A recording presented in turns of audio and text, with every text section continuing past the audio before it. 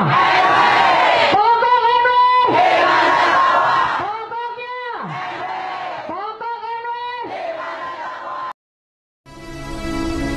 tahun 1994, media Sinar 5 didirikan langsung oleh pendiri organisasi Nahdlatul Ulama Jakarta, Sultania Aulia Maulana Syekh Tuan Guru Kiai Haji Muhammad Zainuddin Abdul Majid. Pada edisi pertama, Bapak Maulana Syekh sangat senang dan bangga dengan terbitnya media Sinar 5 ini.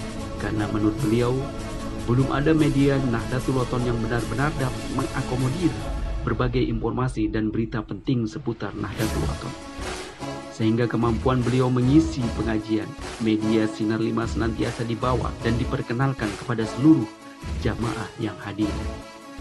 Seiring dengan perkembangan kemajuan zaman, media Sinar 5 senantiasa melakukan perubahan dan pembenahan ke arah yang lebih baik. Pada tahun 2005, media Sinar 5 yang awalnya terbentuk majalah dirubah menjadi tabloid yang ulasan berita dan informasinya lebih lengkap dan bervariatif Ketika tabloid ini beredar, respon para pembaca, khususnya warga Nahdlatul Wathon, baik yang ada di Jakarta, Nusa Tenggara Barat, dan daerah lainnya benar-benar antusias, bersyukur, dan mengucapkan selamat atas terbitnya tabloid ini.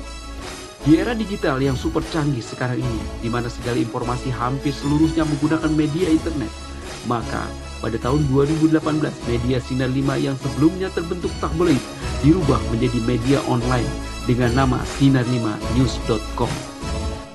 Untuk lebih mantap dan eksisnya media Sinar 5 ini, maka Ketua Yayasan Mi'rajul Siban Nahdlatul Ulama Jakarta, Dr. Andes Kiai Haji Muhammad Suhaidi ST, melantik dan menetapkan kepengurusan media Sinar 5 tahun 2019 dengan diangkatnya Dr. Haji Muslihan Habib MAG sebagai Direktur Media Sinar 5.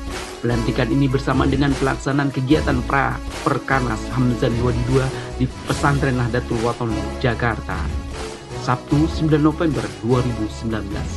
Semoga media sinar 5 news.com terus berkiprah untuk mencerdaskan kehidupan umat demi kemakmuran bangsa dan negara Indonesia tercinta. Amin, amin ya robbal alamin. Terus dukung media sinar media sinar5.com dan sinar 5 TV.